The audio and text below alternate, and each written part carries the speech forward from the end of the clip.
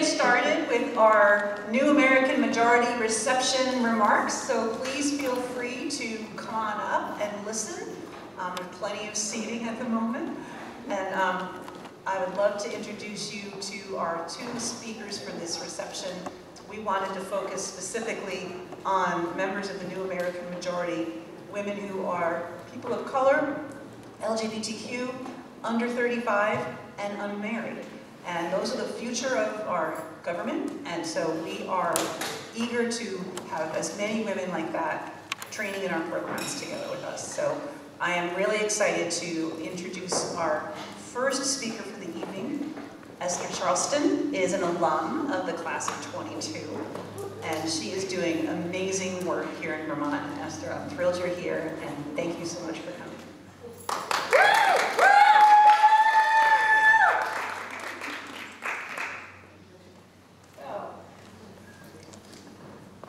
Good evening, everyone. Let's cheer. Ten years. Ten years we get to celebrate. It is a great honor to be with all of you this evening. I am Esther Charlestin. I am Haitian American. I am a Vermonter by choice. I moved here four years ago with my children and it was one of the best decisions I've made. I am the daughter to Haitian immigrants, Anita and Glashan Charlestin. And I am a graduate of Emerge class of 2022.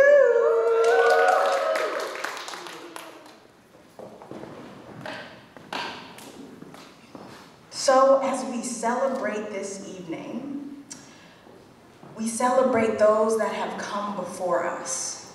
And one of those folks who is no longer with us, but the former state representative, Bright, the first black American to serve in Vermont state legislature. She laid the foundation that opened doors of what is possible for someone like me, a Haitian American, Vermonter by choice, woman, to have the audacity to run in Vermont and win. As a person who ran for the Middlebury Select Board in 2021, I had the audacity. Uh, yes, thank you, Kai. and I won, joined the Middlebury Select Board, and knew that I needed to learn quick. So I decided to apply for Emerge. And in 2022, I had the honor of going through the program and running and winning and getting, I was the top vote getter for 2022. Celebrate that.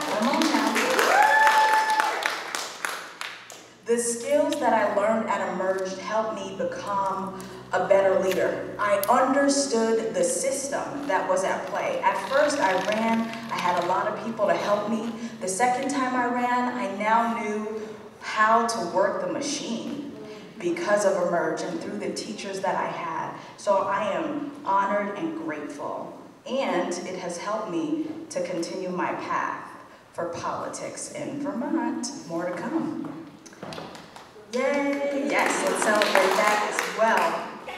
And of course, um, tonight we also have with us our honored guest, Ashanti Gholar. Is that Okay, let's go. Let's celebrate Ashanti tonight.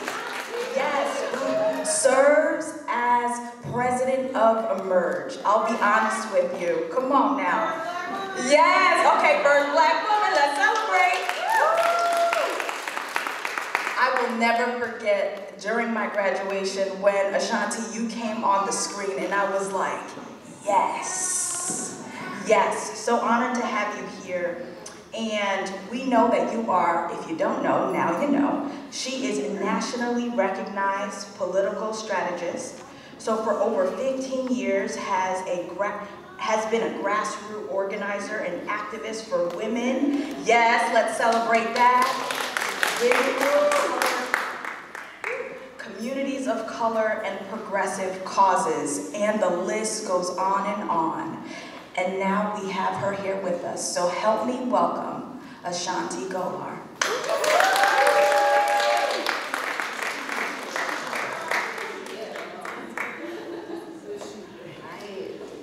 Thank you, Esther, for that beautiful introduction. Good evening, everyone. How are you doing? I'm Ashanti Gholar. I have the honor and privilege of being the president of Emerge, and this is my first time in Vermont. And to be here to celebrate 10 years with all of you is extremely exciting. My journey with Emerge actually started in 2006 when I got an email from a woman named Maria Stark asking me if I would come to an introductory meeting about bringing this organization called Emerge to Nevada because they felt that they could change the face of politics in our state. And that really intrigued me. At the time, I was working for Congresswoman Shelley Berkley, who was the only woman in our congressional delegation and our highest ranking woman in the state. But I was also the president of the Young Democrats of Nevada, and it was created in the 1960s. But I was the first woman to hold the president position in the Young Dems of Nevada in 2006. So this intrigued me. I wanted to know more. And it honestly seems just like yesterday, we were in a conference room of former Congressman Jim Bilbray talking about, could we do this? Could we actually have the audacity as women who didn't have party positions, who weren't the gatekeepers, who didn't have the deep pocketbooks, to actually dare to train Democratic women to run for office. And we knew we wanted to do that. Fast forward, I had left Nevada and I was at the Democratic National Committee on my second tour of duty, as we like to call them. And in that role, I had a really awesome job. I was the National Deputy Director of Community Engagement, the Director of African American Engagement, and I centered my work on women because we are the base of the Democratic Party.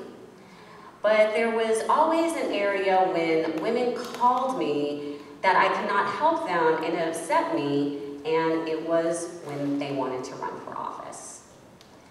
I was in my position because of other women who had uplifted me, supported me, and believed in me, but I had to tell other women that I can help them. And that just didn't sit right with me. One night I went home and I started thinking about the future and what I wanted to do, and I knew that it had to be with getting women more politically and civically involved, especially a run for office. Two days after I decided that was my path, Emerge posted a job description for their first political director. If you manifest it, it will come. I knew that was the job that I wanted. It was the only job that I applied for. Uh, few weeks ago, we actually did our Pioneering Women of Labor event, and I got to honor my friend Julie Green Collier, who is the first black woman chief of staff for the National AFL-CIO. And I got to tell everyone a fun fact that it was actually Julie's office that I went to hide in to do my Emerge interviews. and now as the president of Emerge, I got to honor her. So that was a nice full circle moment. I left the DNC in 2016 to go to Emerge. DNC really wasn't happy with me about doing that, but I knew it was where I wanted to be. And that year I saw so many women who were excited about Secretary Clinton's run for office, to have that representation. But like most of us in the Democratic Party, at Emerge, we didn't plan for the election day that we had. And I remember that evening talking to my colleagues saying, what's going to happen? We did not have a plan B. But what happened the next day was women calling us, women emailing us, women DMing us because they wanted to run for office. They woke up the next day and they said, if not Hillary, then who? Then me. It has to be me. I have to be the one to step up and run for office. And I was just so annoyed by all of the people who were crediting that man for all of the women that were running for office. And I got a call from a reporter who's like, what do you have to say about that? And I'm like, let me be clear. This is the Hillary effect. This is why representation matters. Because these women know, because of her, even though she didn't shatter that highest glass ceiling, there's so many still at the local and state and national level that we can still shatter. We grew rapidly at Emerge. We expanded to new states, which I got to oversee as political director. We started doing our boot camps, taking the signature program down to two weeks, two and a half weekends, and we saw the victories. In Virginia, we got to see seats that were held by white Republican men to diverse Democratic women. In 2018, we saw the first members of Emerge get elected to Congress. And what I loved about 2019 and 2020 is the women that were inspired by Hillary were now inspiring the next generation to step up and run. Because they also saw women that looked like them. They saw single mothers. They saw women who had experienced being unhoused. Women who had to declare bankruptcy because of the financial crisis. We were creating not just a reflective government, but an inclusive government at Emerge. And we know that in 2020, we got to see our first woman vice president with Kamala Harris. And when I sat down with the team in 2020, thinking about the next vision of Emerge, we had done all of this expansion, but what was the future?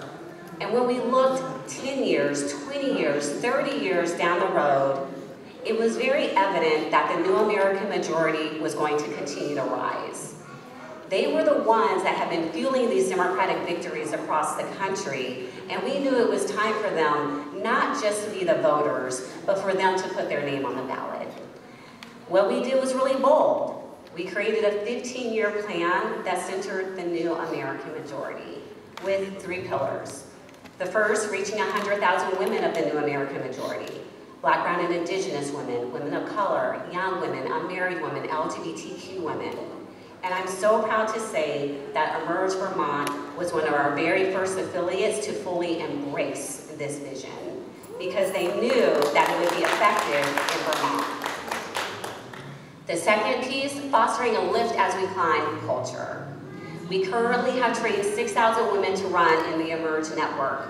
Over 1,200 of them currently serve in elected office, from our first Indigenous Cabinet Secretary, Deb Haaland, to the women here in Vermont, all the way down to school boards, city councils, sheriffs, judges, prosecutors.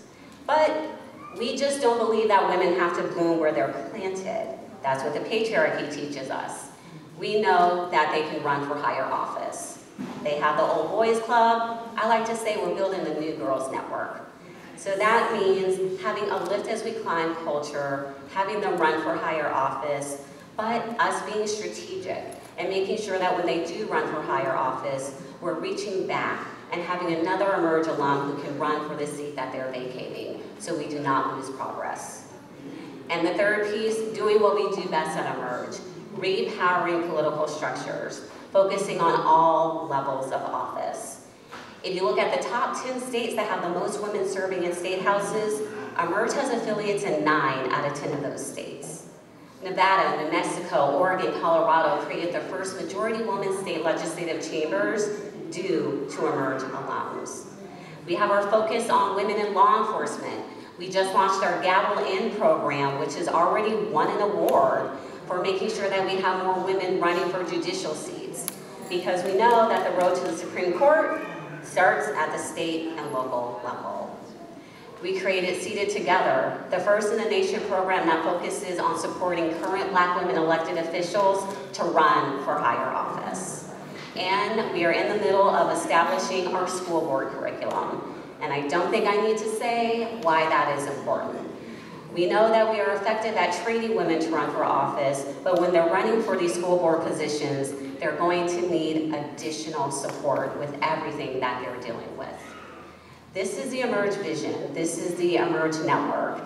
And I'm just so proud of everything that we have been able to accomplish and to everyone who really loves this vision and supports this vision. I came on as president in February 2020, right before the pandemic also coming on as the first black woman to lead our organization. And I knew that, thank you. And I knew the things that we were doing were going to be bold and different, but they are the things that have continued to make us one of the best and most effective organizations in democratic politics with the best return on investment. I'm so excited to be here with all of you. I see we have more people coming in. 10 years is amazing, but I know in Emerge Vermont, you all are just getting started, and I cannot wait to see what the next 10 years is going to bring. Thank you.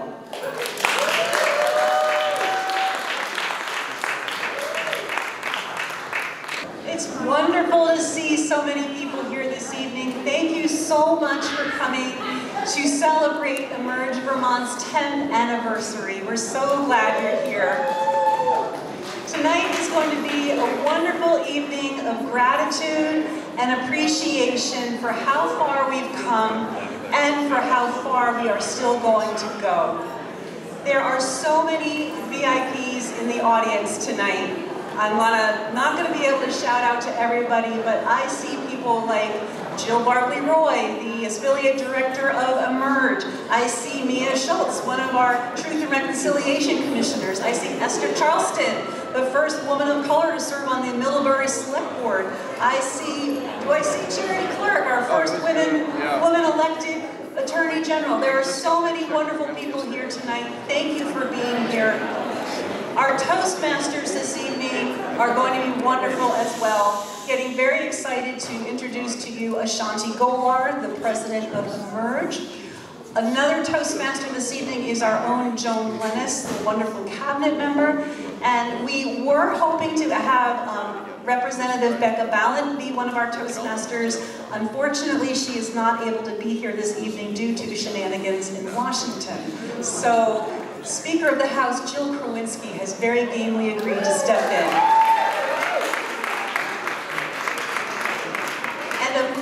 Our honored guest, Governor Madeleine Kunin, will be here shortly as well.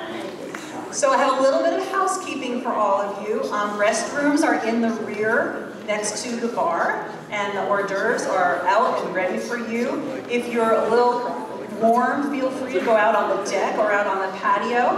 Um, please feel free to take lots of pictures and tag Emerge Vermont. You can take selfies over at the selfie booth. And um, we're going to do things a little differently than you might normally see at a political event like this. We're going to do some toasts and we're going to express some gratitude, but not a lot of really long speeches, so that's pretty great. And after the Kunin Award presentation, we will sing happy birthday to our beloved founder. We have cupcakes, and then the dancing starts. So it's going to be a really fun evening. I hope you can stay as long as possible. We're thrilled that you're here. Um, and by the way, my name is Elaine Haney. I'm the Executive Director of Emerge Vermont.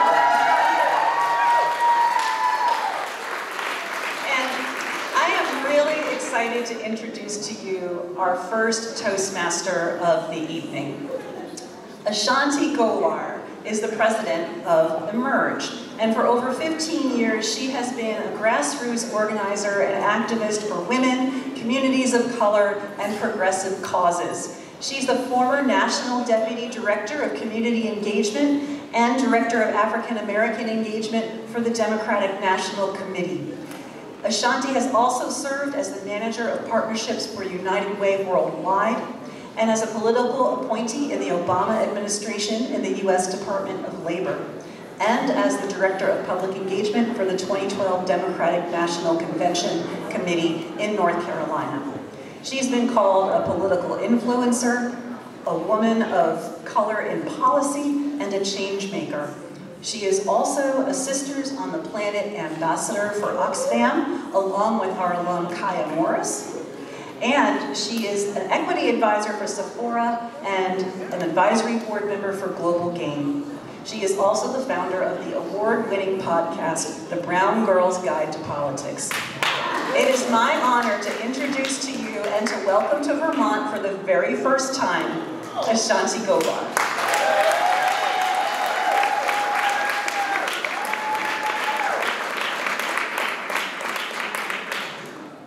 Thank you, Elaine. We are just so lucky to have you leading Vermont Good evening, everyone. I am Ashanti Gholar, and as I like to say, I have the honor and privilege of being the president of the Emerge Network.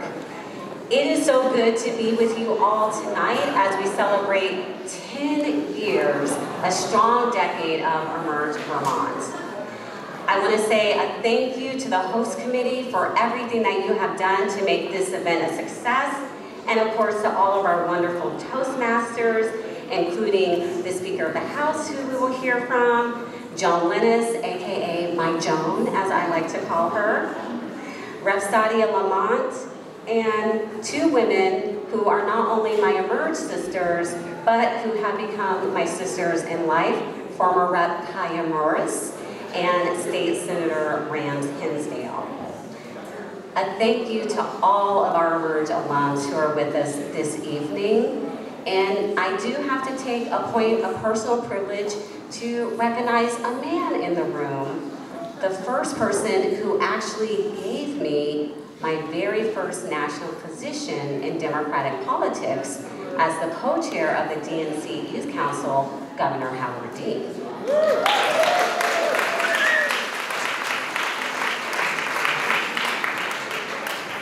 The work that our Emerge alums do fighting for women and families in Vermont is inspiring the next generation of women leaders to run for office.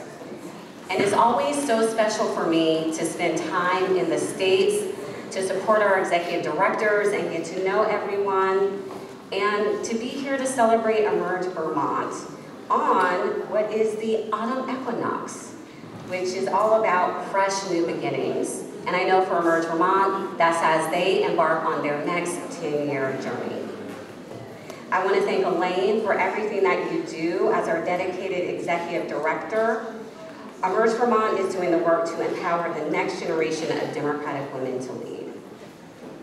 Across the Emerge Network, we have been doing this for almost 20 years. But in 10 years, Emerge Vermont has trained over 200 women on how to run for office. 81% of Emerge Vermont alums won their elections last November, one of the highest win rates in our network.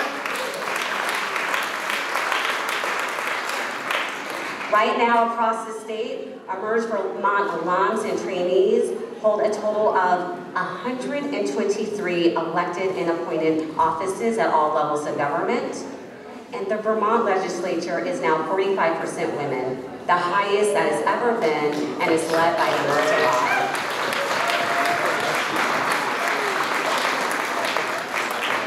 When we talk about these successes, these wins would not have been possible without the work of the community that powers Emerge Vermont.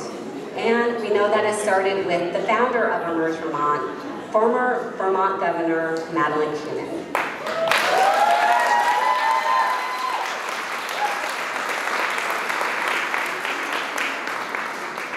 And we know that it's the Emerge Vermont Cabinet, our executive directors over the years, the donors, the supporters, and the Emerge alums that have kept it going. While I know that this year has been particularly challenging for folks in Vermont due to the catastrophic flooding, as I saw what was happening on the ground here, I saw the power of Emerge alums in response to the floods. Every picture on the news that we saw outside of Vermont Bam, there's Congresswoman Balint. Bam, there's Senator Ram Hinsdale. Bam, there was Emerge alum after Emerge alum who were serving in their elected capacities doing the work. But the reality is all of our alums who are serving were doing what they do best. They're being public servants and leaders. Because that is the heart of who our Emerge alums are. And that is the heart of the women that we train. Sending women of the community into public office means that the community has power in times of trouble. That's what we're building at Emerge, community power. We know that community power means that families are supported, as evidenced by the Emerge alums who worked to pass the Affordable Heat Act and an unprecedented universal child care bill this year, especially Speaker of the Vermont House, Joe Krowinski, and Senator Ruth Hardy, both former EDs of Emerge Vermont.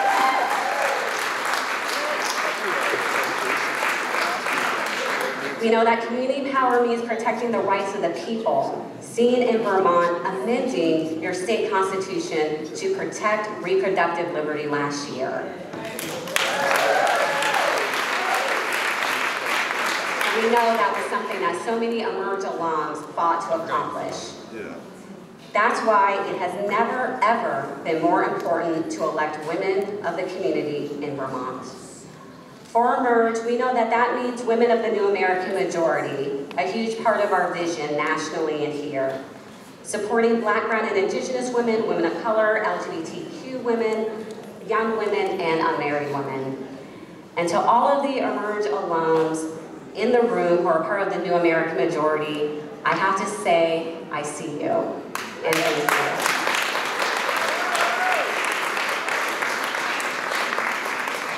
I know that so many of you are the first, you're in rooms where you're the only, but you're still there, and you're doing the work. And you're fostering a lift as we climb culture, which is another part of the Emerge values, making sure that while you're the first, you won't be the last, as our Vice President likes to say. And it's by having you all in this network that we know that Emerge will help continue to make Vermont better.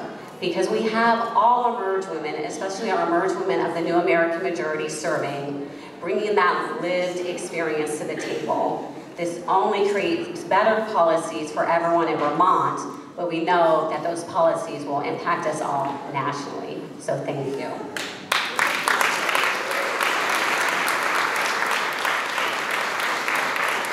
Know that in the next two decades, the United States will achieve its multiracial and multicultural destiny. These changes are an opportunity to shore up individual freedoms, protect civil rights, and finally build an inclusive democracy attack against attacks from these right-wing extremists because we all we know they are just wilding out right now. We can never be a fully fledged democracy until we have a fully inclusive democracy. Having women of the new American majority in elected office is the difference between a real democracy and an aspiring one. And I know all of this, all of us in this room want a real democracy. That's why the work of Emerge Vermont is doing with recruiting and training women is so important. Emerge continues to build the bench at every level of office. I'm so excited about Elaine's new vision that she's going to be doing doubling down, focusing on, local offices, which we know we need more women running in at this point. Our vision of reaching 100,000 women of the new American majority, training women at all levels of office, and changing the face of politics is why we are all here tonight, to repower these political structures. Our nation's political future lies with Democratic women. They are the leaders we need to win the ongoing fight for equality and to shape this nation into something we all can believe in. And Vermont is electing women in record numbers to live up to this promise. Congratulations to everyone who has a part in building the Emerge Vermont community dedicated to pipelining women of the new American majority, women across Vermont into power. Thank you, former Governor Kunin. Thank you to Elaine Haney and all of our former Emerge Vermont EDs, to the cabinet, to the donors, to the supporters, and especially to all of the Emerge Vermont alums. It truly means so much to me that all of you have chosen Emerge to be a part of your political journey. And that is not something that I take lightly. You truly are the heart and soul of this network. And now we toast our Vermont founder, former Governor Kunin. Governor, look at what you did. Look around this room and see what you have built.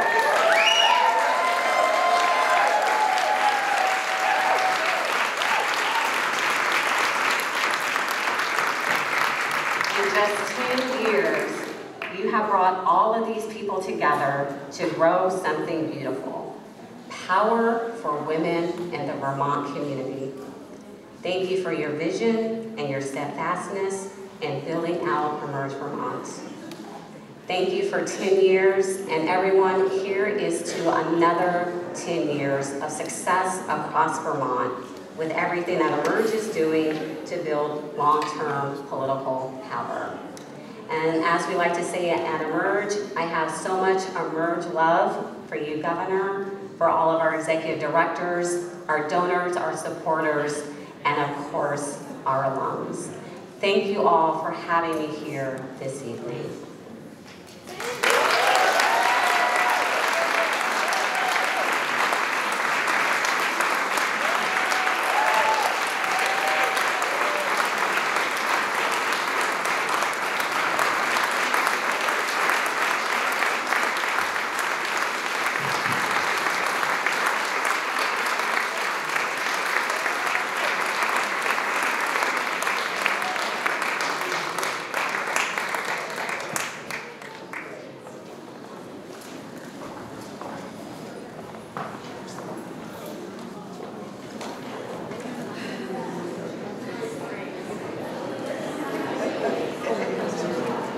All right.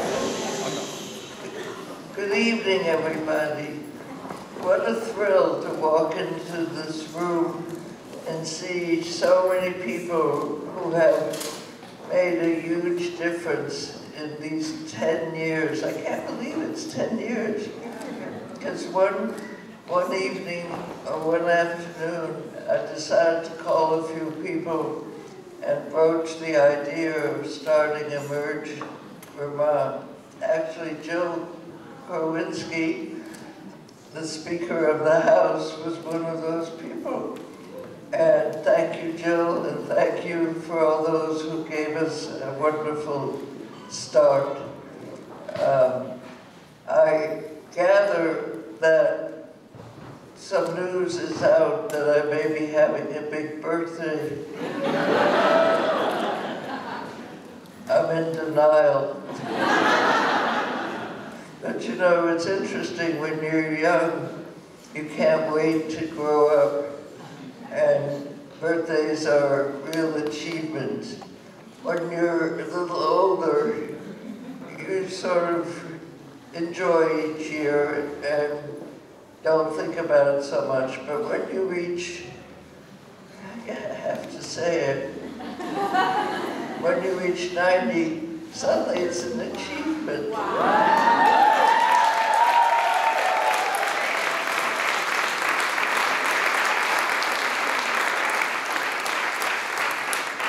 But 90 is not yet.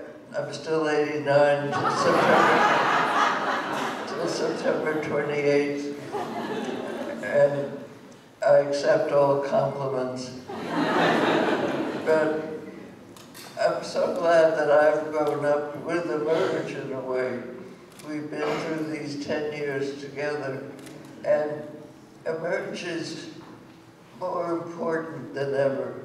I mean, you've had great advantages. 81% of the women who went through Emerge got elected. That's stupendous.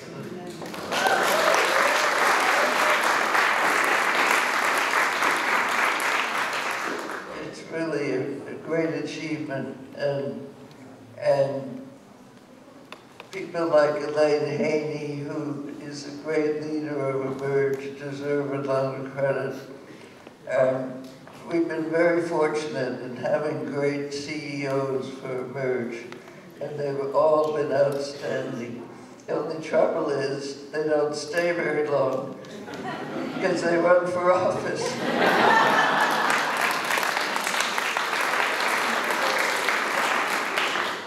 They, they practice very well what they have taught, and they also teach very well. And as, as Ashanti just mentioned, what happens in the states in this country is more important than ever. When I was running for governor, I had to go to raise money from different organizations, and they weren't interested in governors. They were just interested in Congress, because they thought that's where the action was. Well, while we were asleep about state legislatures and governors, the Republicans zeroed in on exactly those races and were bearing the consequence of state legislatures being predominantly Republican. And that's why issues like abortion are so powerful at the state level. And that's why it's so important for Vermont to be one of those states that gets it right.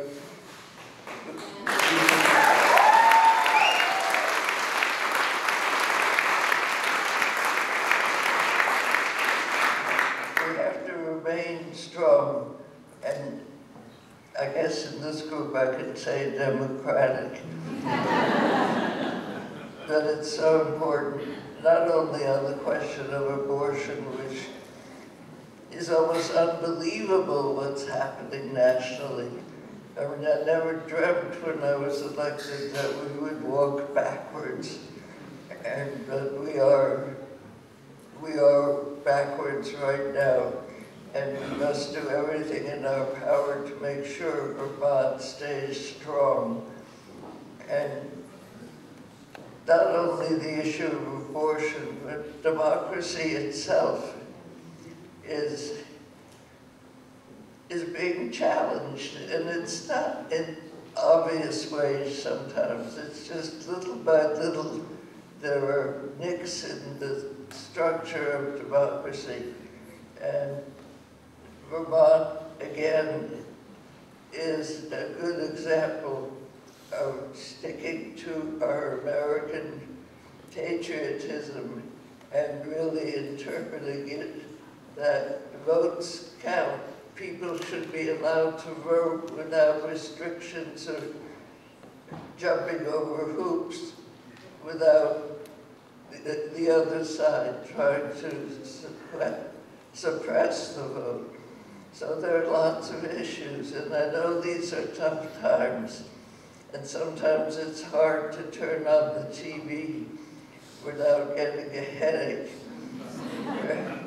but we've got to be vigilant. We've got to keep the faith.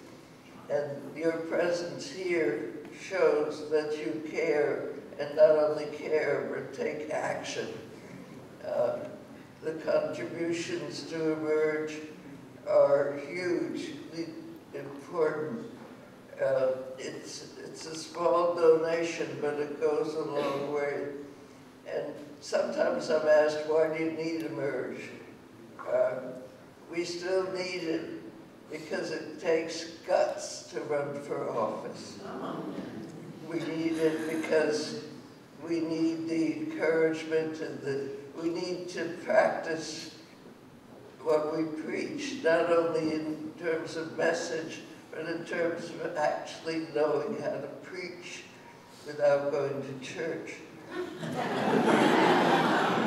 but we preach the good gospel of freedom and democracy and opportunity and fairness and, and really acting on our beliefs. And the legislature in Vermont 45% female. That's beautiful.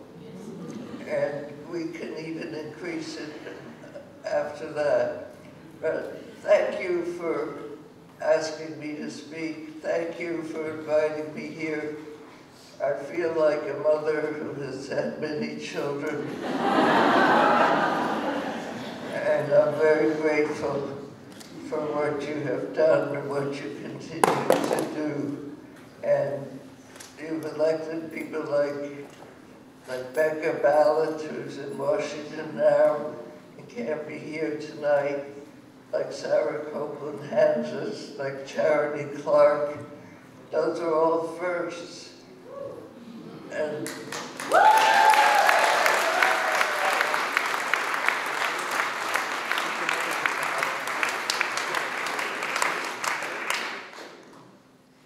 makes a difference. It makes a difference. And every person who you give courage to, every person who learns how to speak in front of a mic, every person who knows how to raise money for a campaign, you are giving birth to a new force for good in Vermont. Thank you.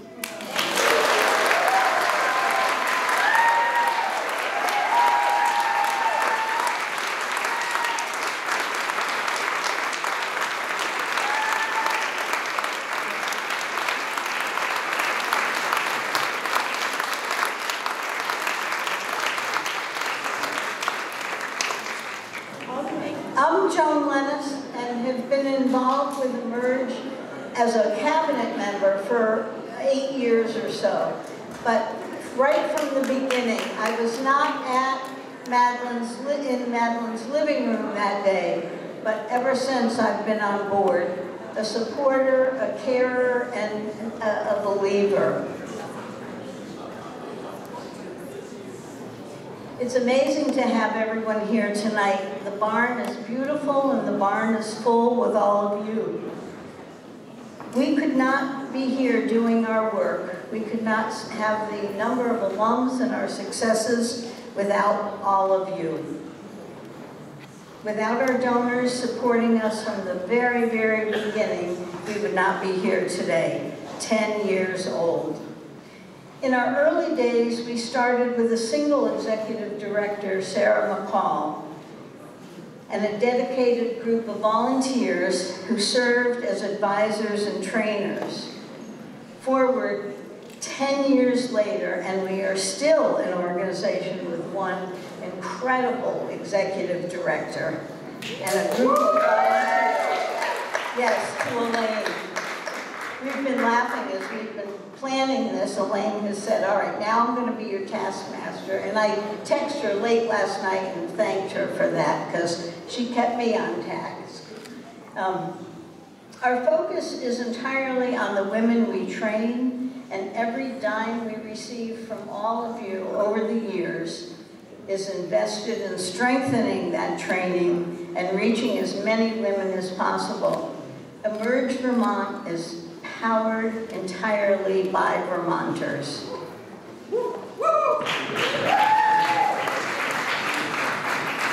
There are some donors who have made significant contributions that helped us get started. Many of them still support Emerge Vermont substantially to this day, and every year we are blessed to welcome new supporters who embrace our mission and give generously to ensure it can continue. The word spreads, the word of mouth, actually, a, a, a friend tonight said she needed to stop over and drop something off, and I said, no, I'm at a fundraiser. She said, for what? I said, Emerge Vermont. She said, is it worth supporting? She just texted, she's giving me $100 tomorrow. It's worth, it's worth constantly talking. Um, I'd like to share the names of just some, and this is hard because some won't be on the list, but these were our early, early supporters and have made it possible for us to train the women who are changing the world and increasing women's representation on city councils, on school boards, in the legislature, in the executive branch, and in Congress. Uh, Catherine Hartog, uh, Congressman Becca Balint, Arthur Bernard, Jan Blomstrom, Tiff Bloomley and Liz Shane, Jessica Brumstead, Donna and Jake Carpenter, Dottie Deans and Lydia Spitzer, Michael DeSanto, Abigail Faulkner, Maxine Grad, Barbarina Heyerdahl, Patricia Heiberg, Rebecca Holcomb, Cree Linalak, Melinda Moulton, Beth Pierce, Dwayne and Laura Peterson, Ernie Pomerleau, Susan Ritz, Jennifer Savage, Lisa Steele, Jane Stetson, Senator Peter Welch, Margie and Peter Stern, and Van Wagner. There are hundreds, hundreds more.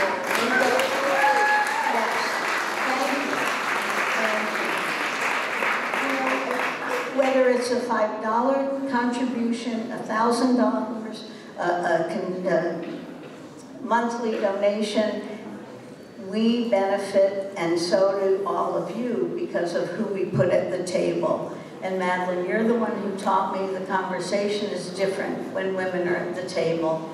And I thank you for that message, and, and it's so true. So, this is a big deal tonight, and I am so proud to be here, to be a part of this group, and to know so many of you, and hopefully meet all of you and we've got friends and family and colleagues and comrades in spirit here. So let's lift our glass and say thank you to all of you who are here helping this happen.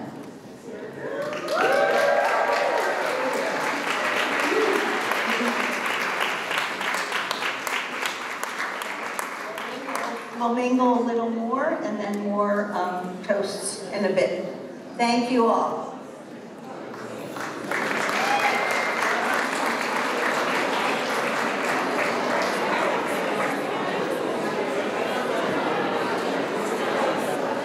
If you are an Emerge alum who's currently holding office right now, will you please make your presence known? I mean, really, guys, come on, do it.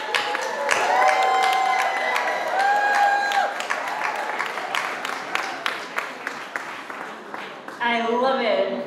Good evening, everyone. I'm Jill Krowinski. I'm the Speaker of the Vermont House.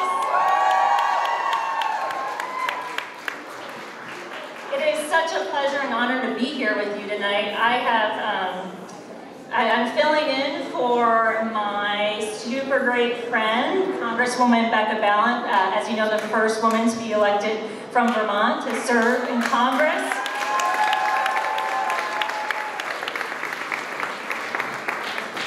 So Becca can't be here tonight because of the ongoing events unfolding in Washington, a consequence of the shenanigans by the Republicans who seem determined to undermine democracy, but we will push forward here tonight.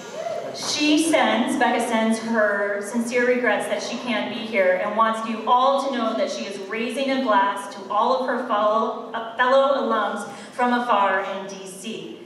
As you probably know, she is an Emerge alum of our class of 2014, which was our very first Emerge class.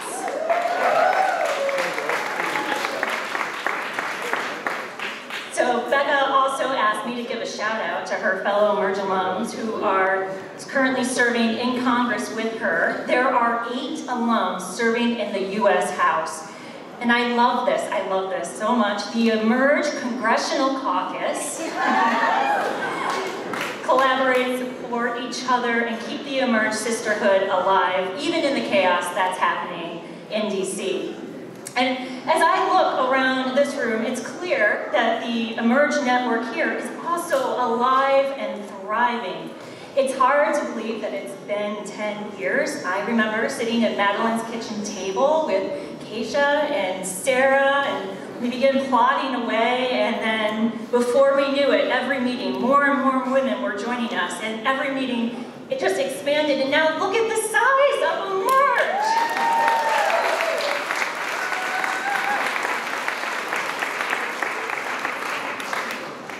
The message that I want you take with you tonight, the Emerge Vermont Network, is that we need you now, more than ever. We need you to run, we need you to lead, and we need you to support campaigns.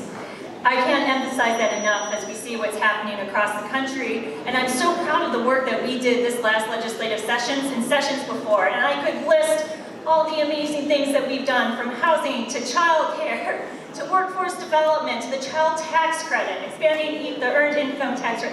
Amazing work. But I think what's really helpful is just to hear a couple stories of just like what that means and what your work, whether you're supporting people running for office or if you run for office and you're serving and you're just taking up those bills and you're getting things done. But what's important is just to know how it's playing out. I can't tell you what it was like when I was handed the updated Vermont Constitution with Article 22 in it.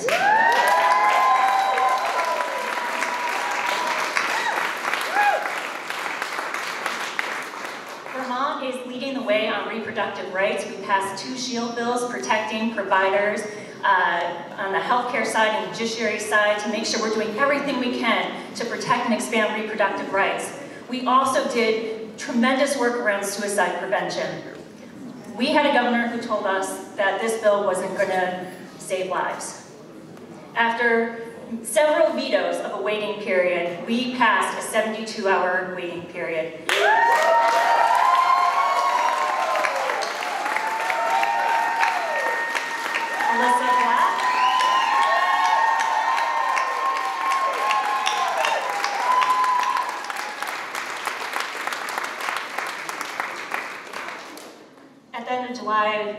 our members received a text message saying that the law had worked and that a young man had tried to buy a gun and he was turned away. And he is alive today because of that bill.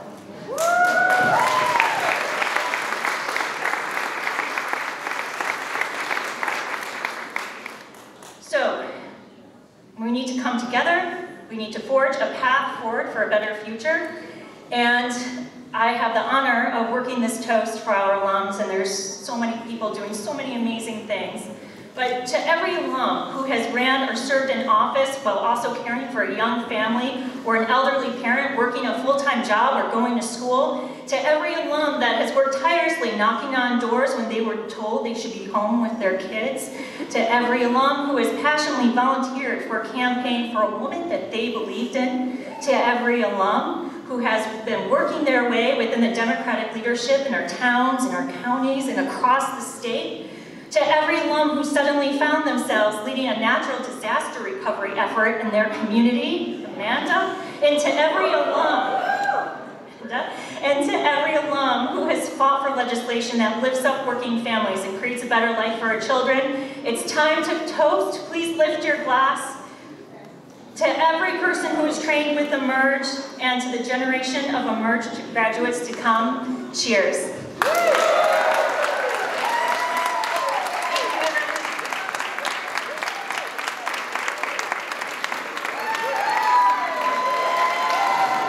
Good evening, Emerge fam. I'm going to need to hear a little more because this is such a special part of the evening. I need to ensure that you are listening to us and we're not just your dinner conversation. Happy 10th anniversary to Emerge Vermont.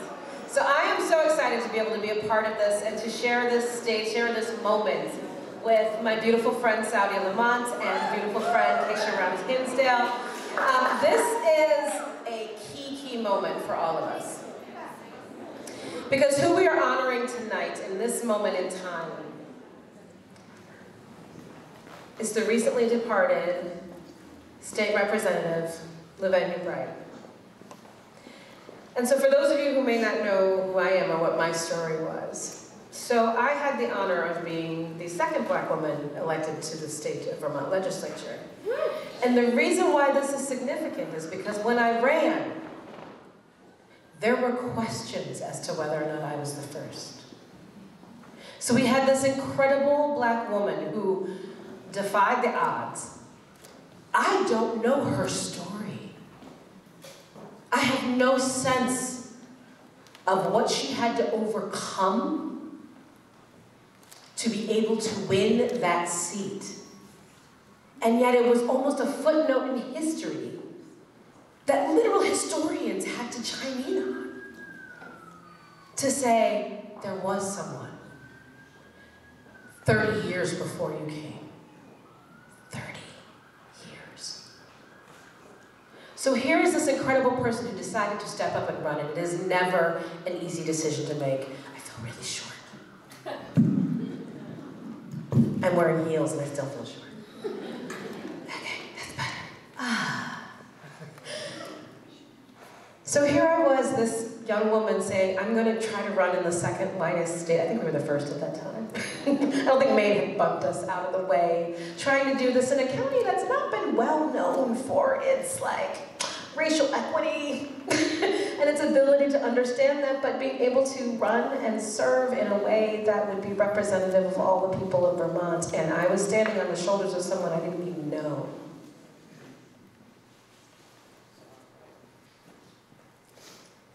That's a bit of a heartbreak. And for many here in Vermont, until she passed, her story was not spoken about.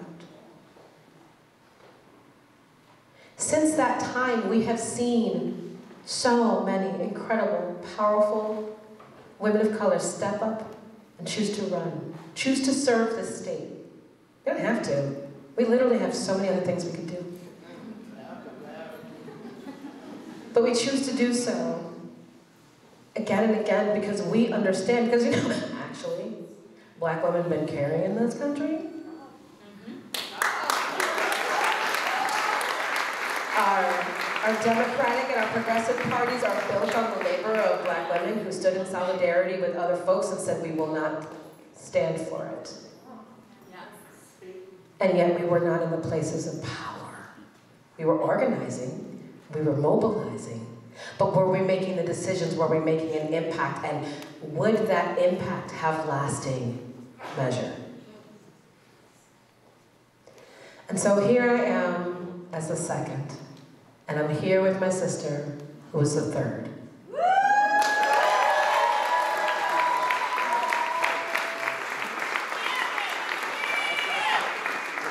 And doing so happened in a way that did not require for us to change who we are, to diminish our blackness, to diminish our womanhood, to diminish our experiences.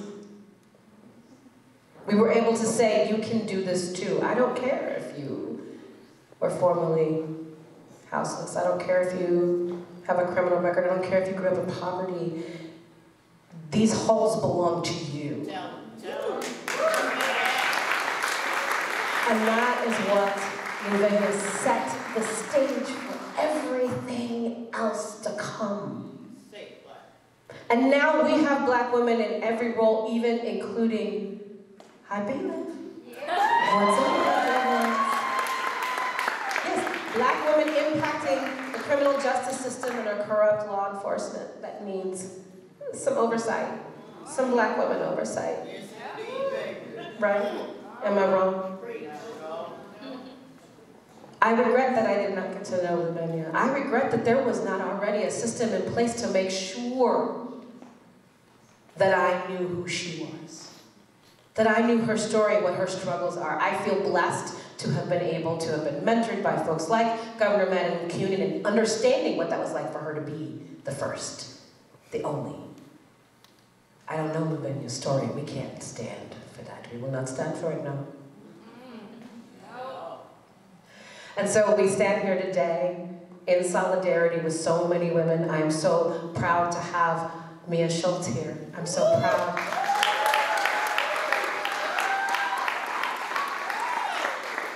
So proud to have Senator Hinsdale here. I'm so proud.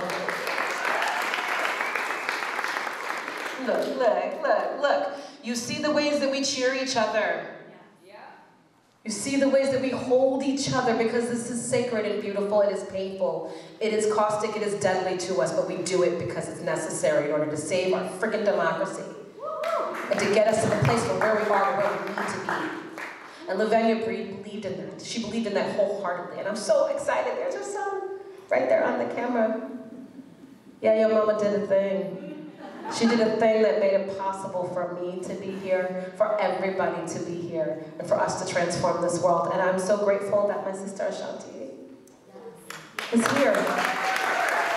Because when we talk about the importance of black women in politics, we're like, oh, we gotta go to Georgia. Let's go make our way to Texas. Let's go take over some Florida. But Vermont has been the first for so many of our human and civil rights. Vermont has been the litmus test for everywhere else in the country. And if it can happen here, it can happen elsewhere. And if there's someone who has the courage to step up and lead, it is women. It is the new global majority. And it is not something that's 40 years in the past, it is today. It is every day.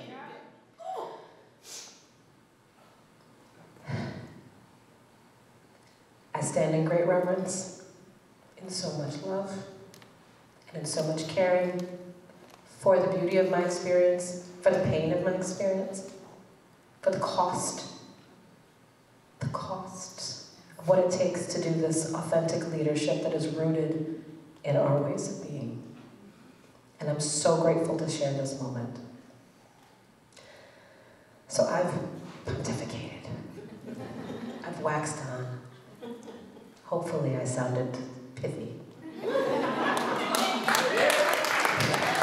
got a, Twitter quote? Y'all got your social tags? Understand this is Emerge. I would not have won if not for Emerge. I will say that. Without a doubt, because I had no idea what it meant when somebody asked me to run for office. I was like, what's that? That's cute. I just got laid off of work. I'm on food stamps. What does that mean? I got a kid. I don't even know what that looks like. How does this happen? And I was given the tools, I was given the training, I was given the courage for me to push forth. And it wasn't easy. It was extremely difficult. It was thoroughly lonely. But I did it. And in doing so, somebody else is always watching. Always watching. Mm-hmm. And this beautiful woman came to me the Democratic, it was a Democratic fundraiser, and I will never forget how powerful that was for her to be there with her daughter and to talk about what that meant to have that real representation. And now here she is. Y'all better take care of her because I'm coming after you again. This is what Nevaeh did for us. This is what she This is what she did. In the simplest of measures, but in the most powerful of meanings. And I could not be more proud. Thank you. I'm going to pass the beautiful mic to my sister Sadia. Woo!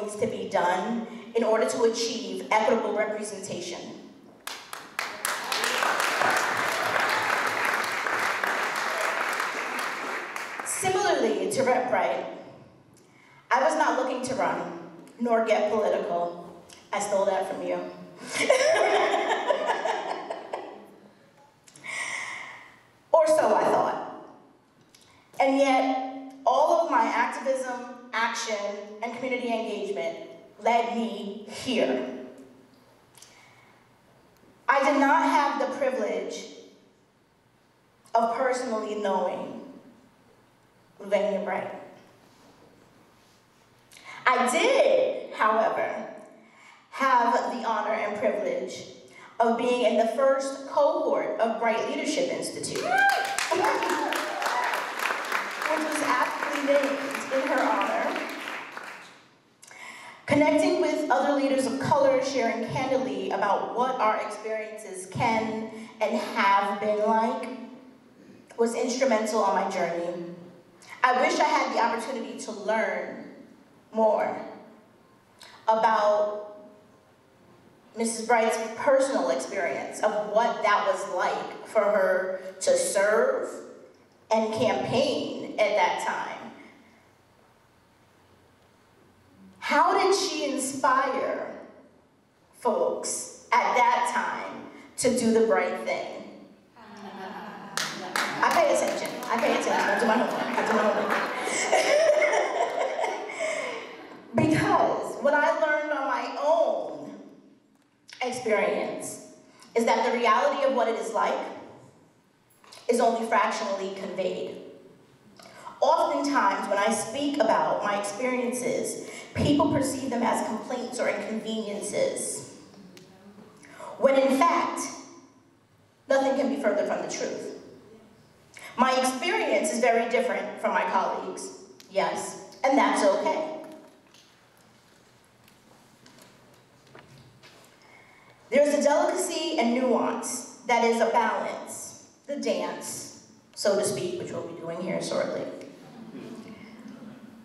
The dance of who you are, who people think you are, who people want you to be, who you need to be, and how the combination of those identities in totality, in summation, is then perceived. I hear you, baby. I hear you. That's what I'm saying. It's a lot. It's a lot, girl. I have learned that I can only be me, wholly, truly, and authentically.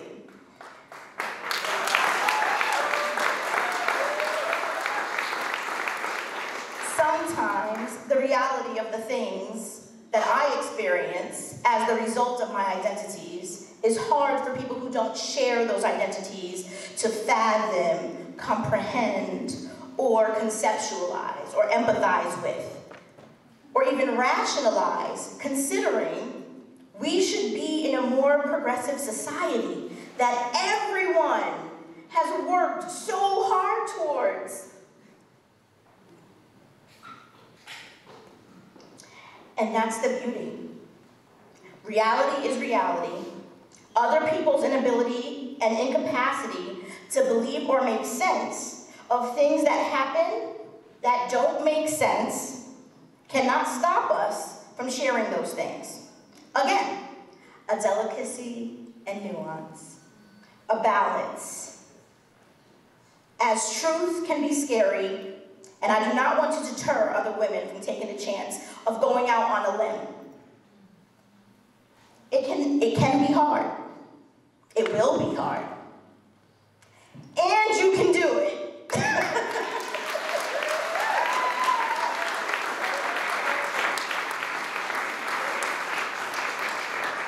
on election night, I got a card from my comms manager and my campaign staff, and the card said, Leap and a net will appear. We cannot miss opportunities for a change, progression, and betterment because of fear. We also cannot do this sustainably without the support, tools, and resources and accessibility that is required. Never stop learning. Emerge trains women to run and win. BLI, Bright Leadership Institute, advances BIPOC leaders. What happens when you get there? My experience with Emerge was wonderful. I learned a lot. I met wonderful women who, some who even helped on my campaign, many of whom I currently serve with. And yet, there was still more to be desired. Not from a programmatic point of view, but lacking in the perspective and understanding of lived experiences of others. I believe any woman considering entering the realm of politics, whether it be serving or supporting, should participate in Emerge. I believe women of color should participate in Emerge. With the caveat Take what you want and leave what you don't.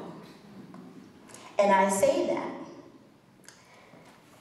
not to disrespect Emerge, because I am so sincerely grateful for my experiences, my time, and the women with whom I have built relationships over the past year and a half.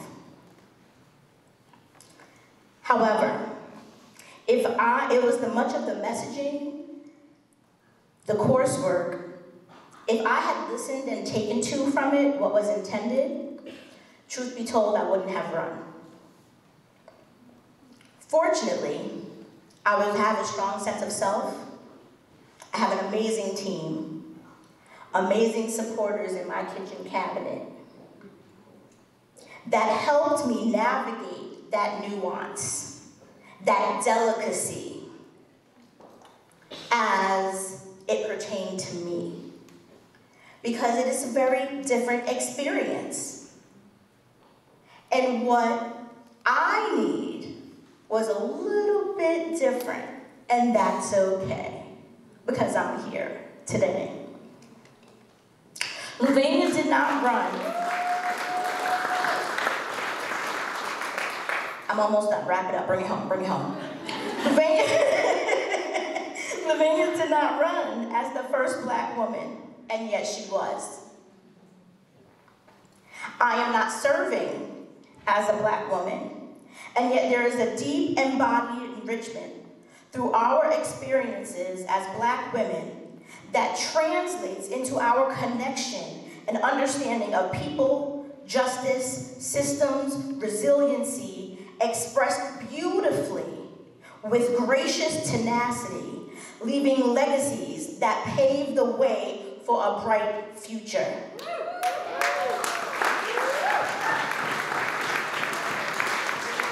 So, as we gather here tonight for a night of gratitude and celebration, let us raise our glass to Louvenia Dorsey Bright, to the waymakers and trailblazers, past, present, and future, to the women of Emerge, cheers to 10 years.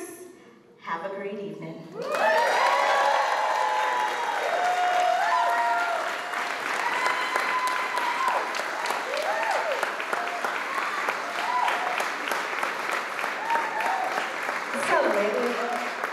We celebrating. Look at us. Look at us. Look at us. Look at us. It's my honor to invite up and welcome and share this stage and this space. We're not done. Stay with us. Thank you, friends. Senator Ram Hinsdale to, um, to present the award. I'm still gonna need your attention, friends. Quiet Coyote. Quiet Coyote. Thank you, Senator. Wow. I do not want to take up too much time because what an amazing thing in politics, we're never running early. And we have been as we started the presentation of this award because I feel all of you wanting to give Louvenia Dorsey Bright the moment that maybe she never got to have. You know, Bill Bright is on the on FaceTime here thanks to Representative Ann Pugh, former Representative Ann Pugh, I should say, but you know, a successor uh, in, in Louvenia's area in South Burlington. And as Bill said in the press, you know, his mom always said, keep it moving. We don't have time to dwell on how people are treating us and, you know, what is going wrong in our experience. We have to keep it moving. And imagine, she just kept it moving. And we should all pause in her honor. The woman that kept it moving so that we could all be here.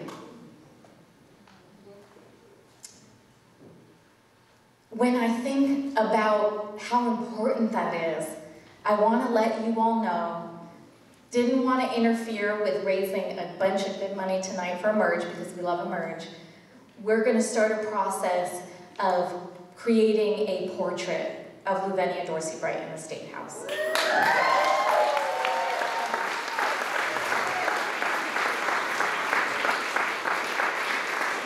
My goal as the second woman of color to ever serve in the legislature and the first in the Senate is, thank you, is that black women do not have to do any of the labor to get this portrait up and on the walls.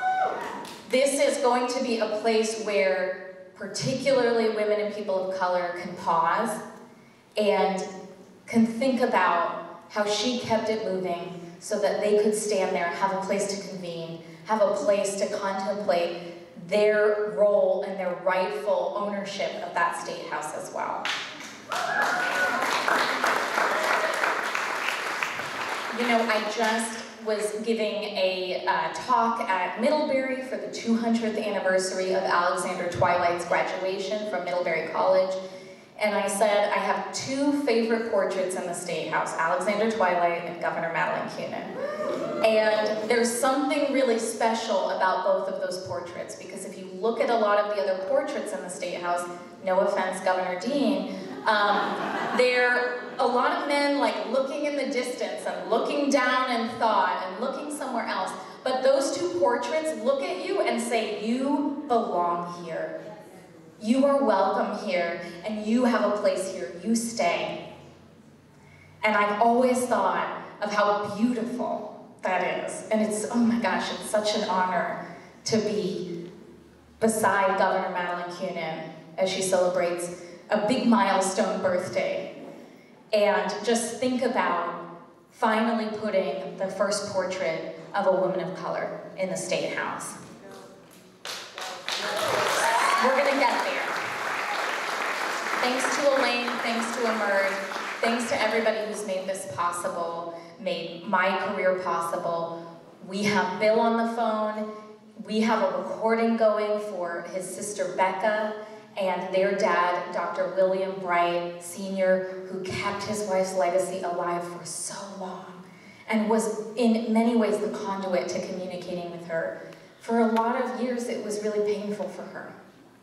But her family has stayed connected, and you know, Bill and I were able to share some tears after a radio program we did and just say, wow, we're really remembering your mom the right way. Finally, finally. I don't think Bill or I would know how much of a release it was to honor her. And here we are. Thank you all so much for being a part of that. And Bill, who's on the phone and representing his family, thanks to Representative Pugh, is going to listen in as we play pre-recorded remarks, remarks from him. They're very sorry that they couldn't be here, but they'll be back in the state and they just feel the love. This room is quiet, this event is going on early because you all are loving and supporting and honoring his family, and we're extremely grateful. Thank you.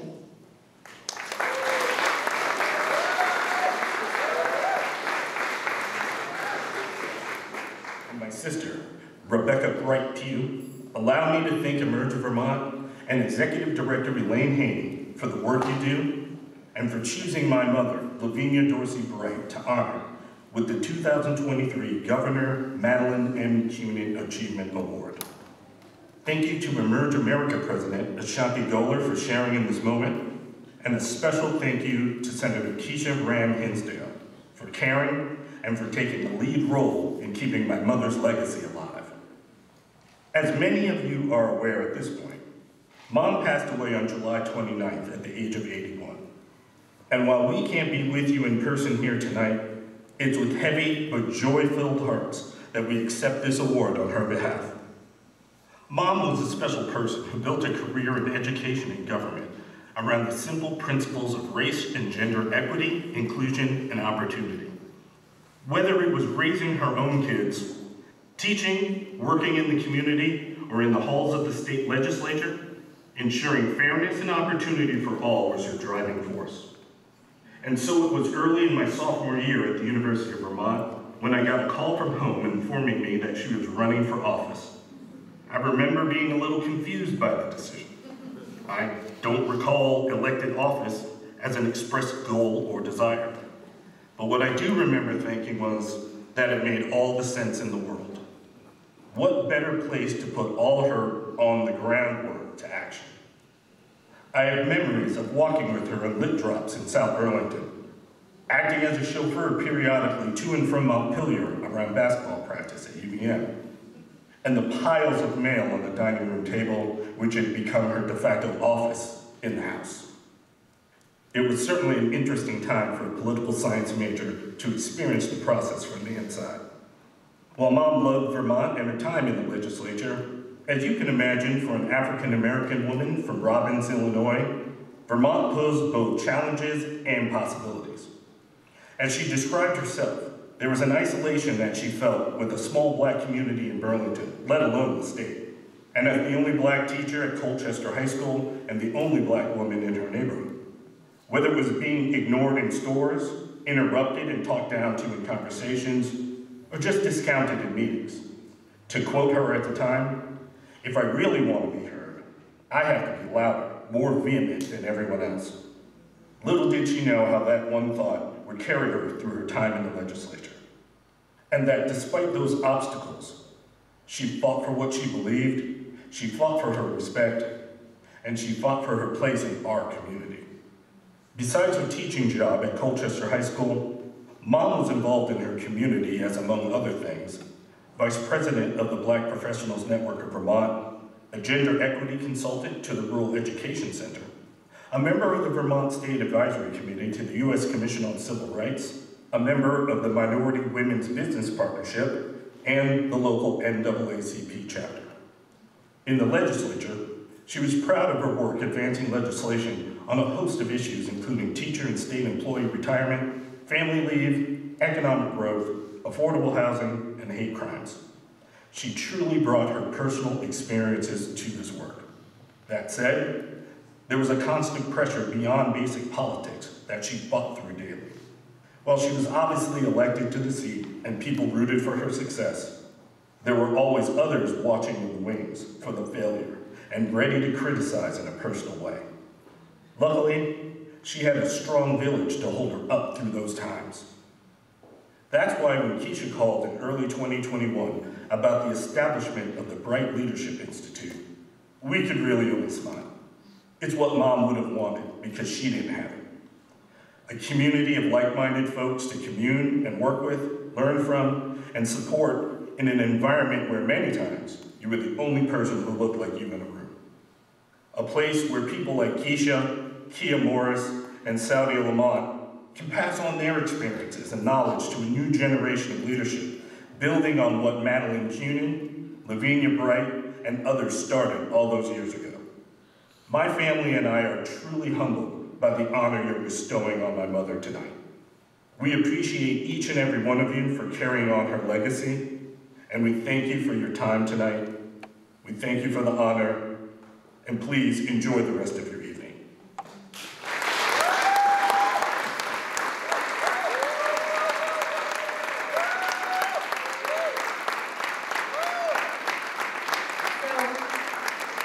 as Elaine and Governor Kunin return to the stage to close us out, I just want to say I think people saw snippets of this in the press, um, but Louvenia Dorsey Bright was still alive when she was selected for this award. And in fact, Elaine reached out and said, can you call the family, connect with them, tell them about the bestowing of this award? And I left a message for Bill, and when he called me back that week, he said, I'm a little freaked out because it, I didn't, haven't, we haven't told anybody yet, but we lost her. But for the family to know through their grief and pain, right as she was passing, that Vermonters were thinking about her, it's just such a gift. It's such a gift that can never be repaid. So thank you, Elaine. Thank you, Emerge. Thank you so much for giving Louvenia the honor that she never fully received when she was serving. Thank you. We're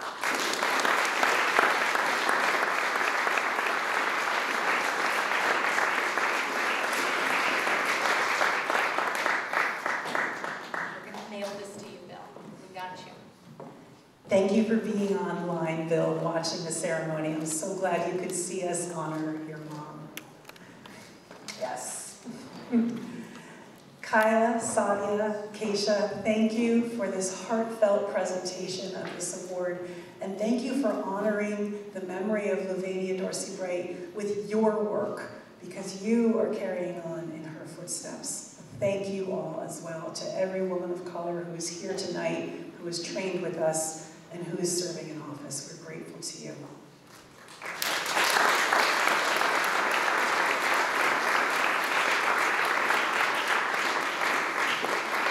I have one more toast I'd like to make, and that is to our wonderful founder, Madeleine Kunin.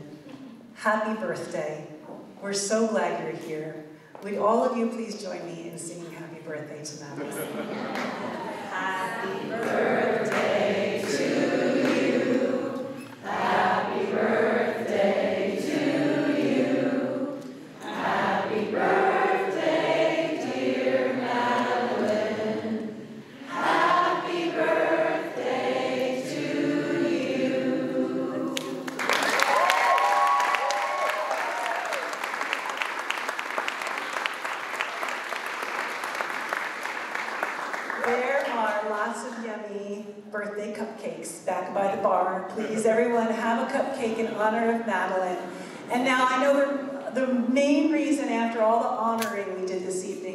all of you to be here was to do some dancing, because we don't get to dance very often. So I'm gonna just hold your attention for a few more moments, and then we're gonna get down. So I really want to thank everybody for coming this evening. Our parties, Emerge parties, they have a great vibe. They just do. And this is party season. We're all, we all see each other at all the same events, but there's something special about Emerge Vermont's parties, and this one is the very best one we have ever had. And thank you so much, everyone, for being here tonight. I want to thank our host committee for helping us organize this event.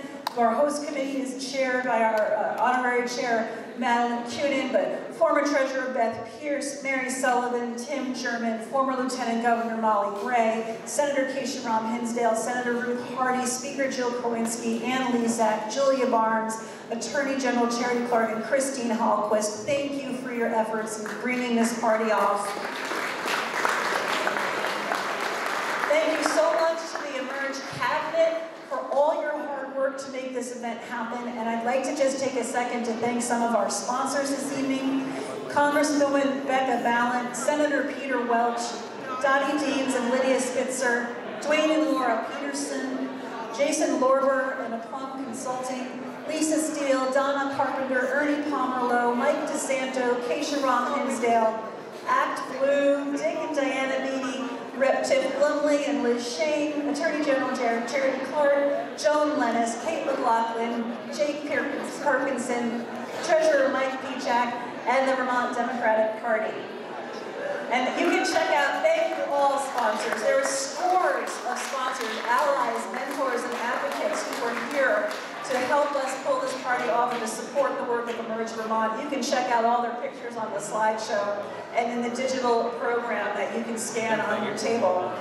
And we're thrilled to be here to celebrate our last 10 years and the future 10 years. What's going to happen next? We're just going to keep electing more women to run for office. We're going to train them, and we're just going to take over the State House. We're going to get all six constitutional officers. We are going to continue. We're not stopping, and we can't do it without all of you. So I have a favor to ask you tonight. We had we have two generous donors who have offered a $1,500 match to us tonight. So there are QR codes all along the walls that say contribute to Emerge Vermont. Please give generously and help us meet that match. $1,500. It's not going to take a lot of folks to meet that match, but really would love for you to help us do that. So thank you so much.